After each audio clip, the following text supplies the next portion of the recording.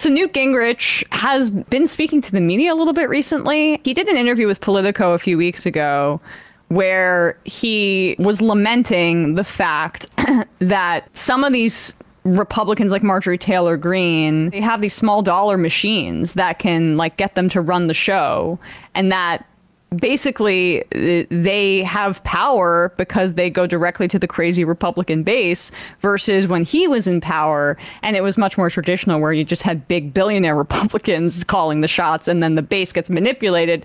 Now the uh, inmates are running the asylum basically, and then becoming representatives in and of themselves. And he was just like, oh, I would be doing a much better job. I'd be doing a much better job. It was, you know, right, of course, self-aggrandizing. Um, uh, but he would not be doing a much better job because he's exactly like every other Republican in sucking Trump sucking up to Trump.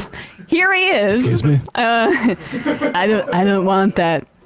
Are you a ten, Newt? Nat. Um, here he is defending Trump, and you'll never guess what he compares how Trump is treated to. I think in terms of the court, uh, something that uh, Speaker Mike Johnson said really struck home with me when he said about the decision on whether or not to help Israel and Ukraine that this is not a game.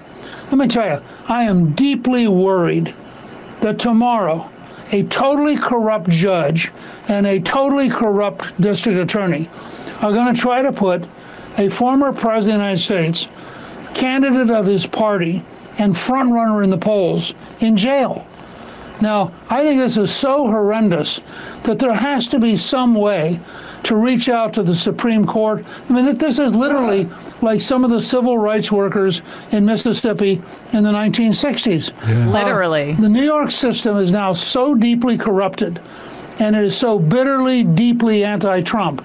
Uh, the absurdity of the judge's daughter, who made millions and millions of dollars doing anti Trump politics. And the judge would like us to believe, much like Joe Biden, he had no idea what his children were doing. I mean, the whole thing, frankly, resembles on the waterfront Stanley Kubrick's brilliant film. This is about corruption. It has nothing to do with honesty.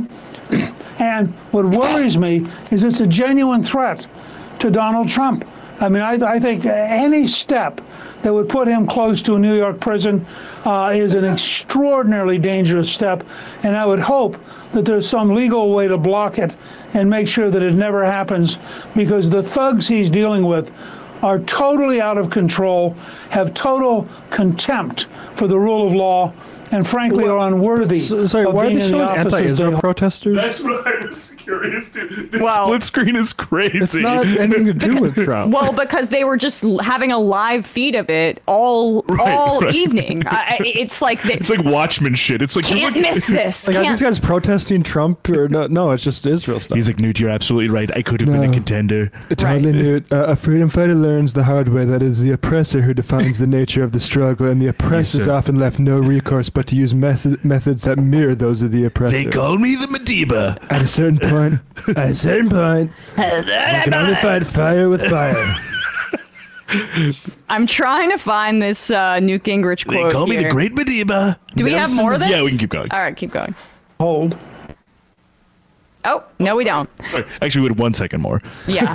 Um, In planning the direction and form that the MK would take, we considered four, four types of violent activities sabotage, guerrilla warfare, terrorism, and open revolution. For a small and fledgling army, open revolution was inconceivable. Terrorism inevitably reflected poorly on those who used it, undermining any public support it might otherwise garner. Guerrilla warfare was a possibility, but since the ANC had been reluctant to embrace violence at all, it made sense to start with the form of violence that inflicted the least harm against individuals. No one had said anything Sabotage. about. Yeah. No one had said anything about guerrilla warfare.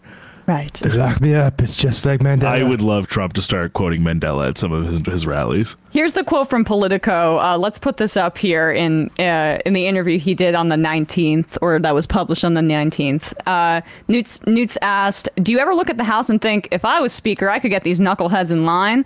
He answers, "You can't keep them in line because the technology's changed. They have the ability to make noise. They have the ability to go on television, and they have the ability to use the internet to raise money from people who only know who they mm. are because they saw them on television." So why do they care? And the interviewer asks, How would you handle them if you were this in the speaker's chair? I would do what is right and tell them it's their problem. Do you want someone who is going to be a coward and who is going to spend every day making sure that all 218 or 219 members are happy? Then you need to get somebody else. If they want a leader, I'll be glad to lead. That's what I said several times. Once we had a rebellion, and at the end of the rebellion, I had a meeting and I said, I will stay as speaker only if I'm speaker. I mean, it sounds like he's literally offering himself up to go redo this because anybody can be speaker by the way. That's why trump was floated at one point. I also always find it fascinating his staying power because like he literally has not been an elected official in 25 years. well but when he was an elected official he was infamous. He's just resentful that they have the internet now to fundraise. He was re- infamous for going on the floor and advertising himself on C-SPAN by, C-SPAN by being the biggest blowhard out there. So it's just so rich for him to pretend he would do anything differently. And that video of him defending Trump and just repeating what Trump said about the judge's daughter that Trump can't say because now he has the gag order, which he's already violated. Right, Like, this is good. This is good surrogacy for Tr- for Trump. He's just repeating what Trump wants him to say. And we're supposed to believe Newt Gingrich would be in any way different than the crop of Republicans that we have right now. they probably vacate him too. Totally.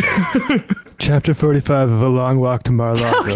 Oh, Our strategy was to make selective forays against military installations, power plants, telephone lines, and transportation links. Targets that would not only hamper the military effectiveness of the state, but frighten National Party supporters, scare away foreign capital, and weaken the economy. This, we hope, would bring the government to the bargaining table. Strict instructions were given to members of the MK that we would be we would countenance no loss of life. But if sabotage did not produce the results we wanted, we were prepared to move on to the next stage: guerrilla warfare and terrorism. Wow. Has anyone ever ever read The Long Walk to Freedom? Anyone read The Long Walk to Mar-a-Lago, folks? Um, there, uh, come on. He the long golf cart uh, ride to Mar-a-Lago. The long ride to Mar-a-Lago via golf cart. I don't walk between Uh, holes. and the Great Madiba.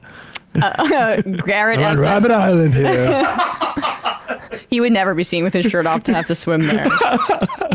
um, although I guess you can't swim there. Um, that's the point. Garrett S says uh, Matt's Trump impression always turns into Eric Cartman. I tried to add a little gravel in there because I usually, I usually just do the smooth Trump, but sometimes you got Because he does, he, He does, does transfer. He transfers registers like at at, at Oh, will, yeah. basically. I a love metal when singer. he goes into that lower register. Uh, you know, the guy that does that the best is Uh, J- James Austin Johnson. James Austin yeah, Johnson, so who good. SNL scooped up like at, right after we had him on the show, and I almost like, well, I right. did cry laughing. He was so That good, was, that was very good. very good. He, I mean, he does the he does it for SNL now.